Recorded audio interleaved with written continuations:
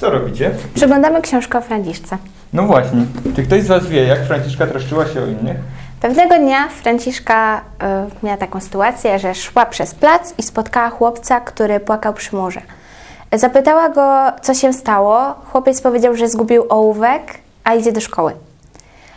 E, więc, a nie miał pieniędzy, żeby kupić ołówek, więc nie wiedział, co zrobić. Franciszka zaproponowała chłopcu, że kupi mu oł- ołówek za swoje pieniądze, które dostała za, dla, na ciastka.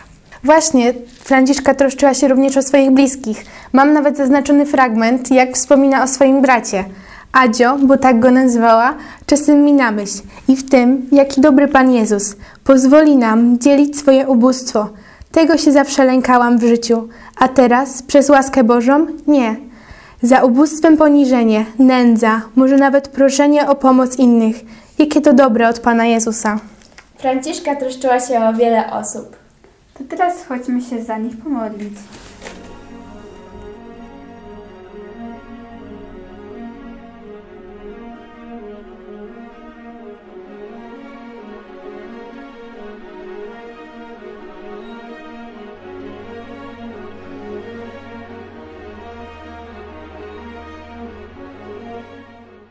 W siódmym dniu nowenny modlimy się za ubogich i pokrzywdzonych.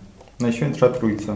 Uwielbiamy Ciebie i dziękujemy za przykład, jaki nam dała Twoja służebnica, błogosławiona Maria od Pana Jezusa, dobrego pasterza, naśladując życie i cnoty Najświętszej rodziny z Nazaretu.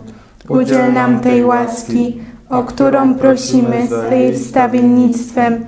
Dla większej chwały Twojej, uświęcenia dusz i rozszerzenia Królestwo Twego na ziemi. Amen.